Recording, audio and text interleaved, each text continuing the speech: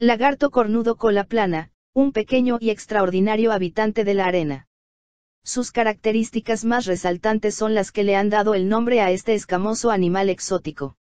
Los cuernos se encuentran en la coronilla en forma de fila. Su cuerpo es plano, muy parecido al de grandes sapos. Su cola no tiene un gran tamaño en comparación con los otros lagartos, pero es ancha.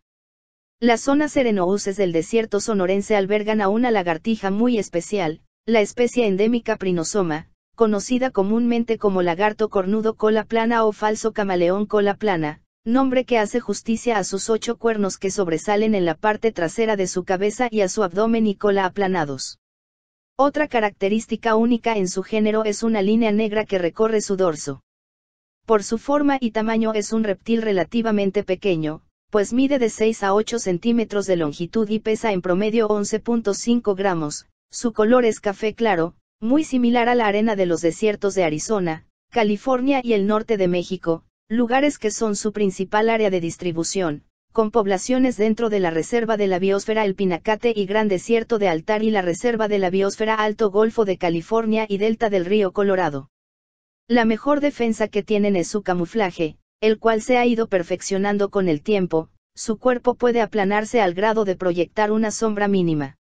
En algunas ocasiones puede intentar defenderse con sus cuernos, moviendo su cabeza o repletos de escamas y duras espinas, este lagarto cuenta con la capacidad de disparar chorros de sangre a través de sus ojos cuando se siente amenazado por un depredador. A simple vista pareciera imposible poder localizar estas lagartijas, pero suelen moverse cuando uno se acerca a ellas. Otra forma de encontrarles puede ser rastrearlas por sus huellas o excretas, que tienen características muy particulares. Las excretas están formadas por restos de hormigas forrajeras, dieta principal del lagarto cornudo cola plana. Los lagartos cola plana son animales de sangre fría, les gustan los días tibios y soleados, aunque son muy sensibles al calor extremo. Su actividad se limita a las primeras horas de la mañana y el atardecer. Buscan las sombras de los arbustos o pueden enterrarse bajo la arena, donde la temperatura es menor que la de la superficie. El lagarto cornudo cola plana se encuentra listado dentro de la norma mexicana, NOM 59 Semarnat 2010, bajo la categoría de especie amenazada y está catalogado en la lista roja de la UICN como una especie casi amenazada, lo anterior debido a la pérdida de su hábitat, cuya extensión no es mayor a los 2.000 kilómetros cuadrados, con poblaciones muy separadas entre sí. Es por ello que desde el año 2015 la Reserva de la Biosfera El Pinacate y Gran Desierto de Altar lleva a cabo un monitoreo de esta especie, en donde participan voluntarios que son coordinados por el Dr. Rafael Lara Reséndiz, de la Universidad de California, Santa Cruz, a través de un esfuerzo binacional realizado en conjunto con el Departamento de Caza y Pesca de Arizona.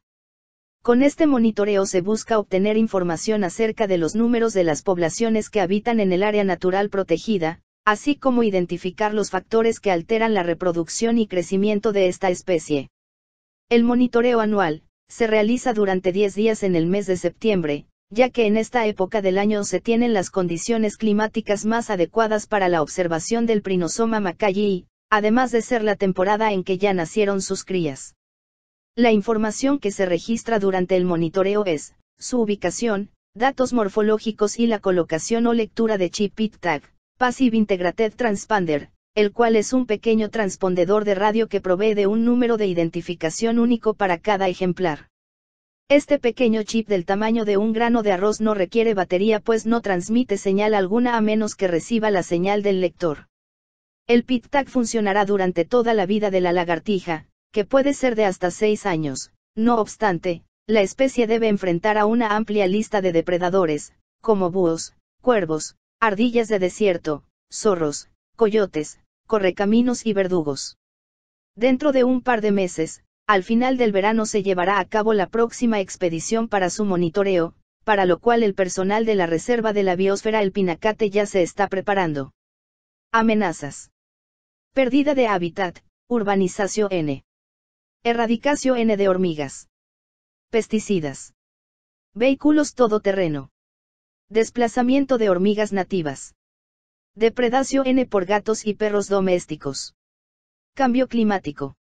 Asterisco información proporcionada por Daniel Zamora Miranda, Reserva de la biosfera El Pincate y Gran Desierto de Altar. Amigos comenten, ¿qué les pareció el video? Suscríbete, dale me gusta y comparte.